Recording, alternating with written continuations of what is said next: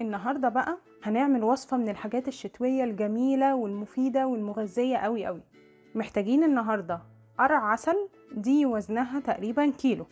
آه لو عندك الحجم الكبير قسميها زي ما انت عايزة. آه قرع عسل أو يقطين معايا كوباية حليب معلقتين سكر معلقتين قشطة معلقة دقيق ونص معلقة فانيليا. وصفتنا سهلة خالص وما فيهاش أي تعقيد. وطعمها تحفة. يلا بينا بقى نشوف هنكمل وصفتنا إزاي. دلوقتي بقى نجهز البشاميل الحلو مع بعض. عندي هنا الكسرولة حطيت فيها قطعة زبدة حوالي 8 جرام. وجهزت عندي الفانيليا والدقيق والقشطة والحليب. عندي هنا خلاص الزبدة كده. هضيف معلقة الدقيق. تمام كده؟ وأضيف الحليب واحدة واحدة كده. وأفضل أقلب فيه عشان ما يبقاش فيه تكتلات. دلوقتي هضيف له السكر الفانيليا ومعلقة القشطة. تمام كده؟ البشاميل الحلو جاهز عندنا. وطبعا مقدار السكر ده بتاعك. يعني انت بتحبي بقى سكر زيادة فزودي سكر. تمام؟ أنا كده خلصته. هنجيب بقى القرع عسل بتاعنا ونعمله.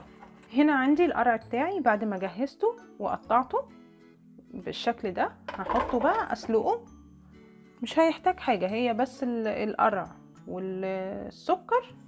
هو ما بياخدش سكر كتير لأنه هو محلو. طبعا حتة الحلاوة دي بتاعتك انت بقى. براحتك يعني انت الحتة دي زي ما تحبي. دلوقتي أحط له المية السخنة. وهسيبه لحد ما يشرب المية دي كلها. هسيبه على النار يغلي لحد ما يشرب المية دي كلها. هوريه لكم بقى بعد السوا بيبقى عامل إزاي. عندي هنا القرع اهو بعد ما استوى. ههرسه بقى كله كده. ودوقيه بقى انتي على حسب رغبتك في السكر. يعني أنا حطيت له المعلقتين انتي عايزة بقى تبقى سكر زيادة تحطي له سكر وهو بيتسلق. اللي مش متعود على أكل القرع العسل كده يجربه.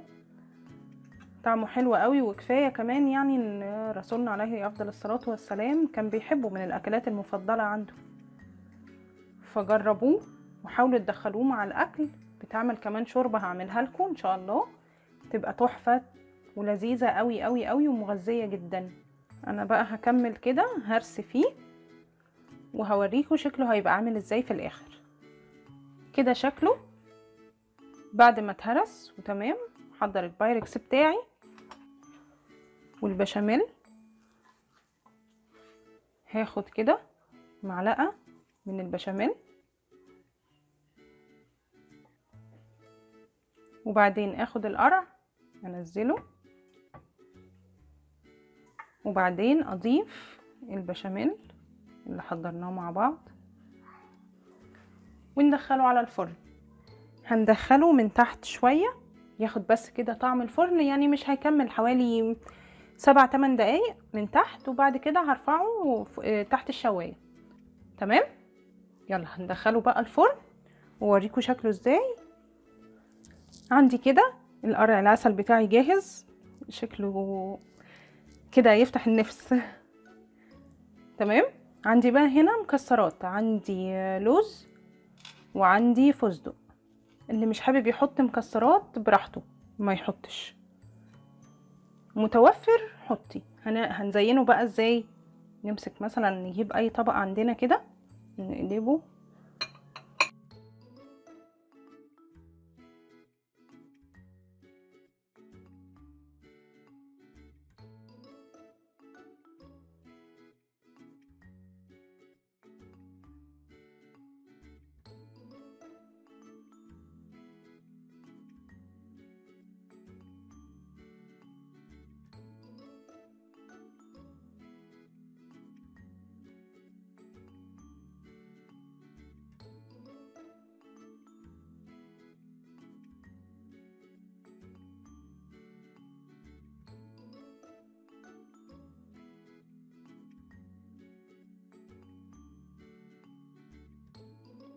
أهو كده شكله النهائي بعد ما قدمناه.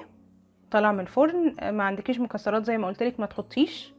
مفيش أي مشكلة هو طعمه حلو قوي من غير أي حاجة. ودي كانت وصفتنا النهارده. يا رب تعجبكم وتجربوها وتقولوني إيه رأيكم. وما تنسونيش في ال like و share و subscribe أشوفكم في يوم جديد وفي حلقة جديدة من وصفات بنت حميدو في رعاية الله.